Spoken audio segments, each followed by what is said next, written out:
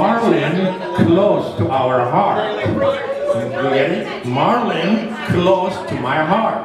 There it is.